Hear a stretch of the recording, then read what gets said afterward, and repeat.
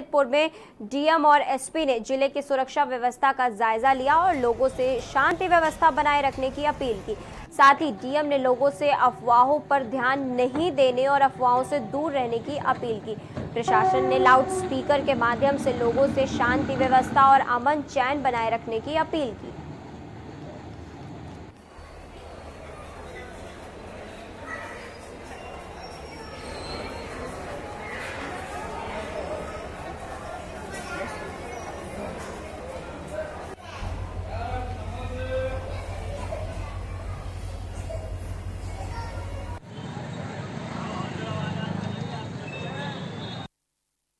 अपना भारत देश एक ऐसा लोकतंत्र है, मज़बूत लोकतंत्र है, जिसकी सराहना पूरा विश्व करता है। और लोकतंत्र की ये सबसे बड़ा एक स्तंभ होता है, जो होती है न्यायपालिका।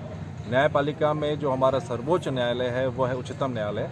माननीय उच्चतम न्यायालय के द्वारा आज जो निर्णय सुनाया गया है, हम सभी भारतीयों का, हम सभी नागरिकों का यह कर्तव्य है कि उस निर्णय के परिप्रेक्ष्य में हम उसका सम्मान करें, मान करें और उसको अच्छा सा पालन करें। आज जो हम लोग की व्यवस्था बनी है, वो यही सुनिश्चित करने के लिए बनी हुई है कि हम सब जो भारतीय नागरिक हैं, देश के हित में, देश सर्वोपरि है, उसके हित में माननीय सर्वोच्च न्यायालय ने जो निर्णय सुनाया है उसका अक्षरशा पालन करें, सम्मान करें। जनपद में सुरक्षा की चाक चौबंद व्यवस्था रखी गई है। सभी sector magistrate, zonal magistrate field पे विज़िट कर रहे हैं। हम लोग फ़ील्ड पे विज़िट कर रहे हैं। सभी ग्राम स्तर तक हमारे अधिकारी राजस्व के, वन विभाग के, ग्राम पंचायत विकास अधिकारी, ग्राम सभा स्तर तक हमने लगाए हैं।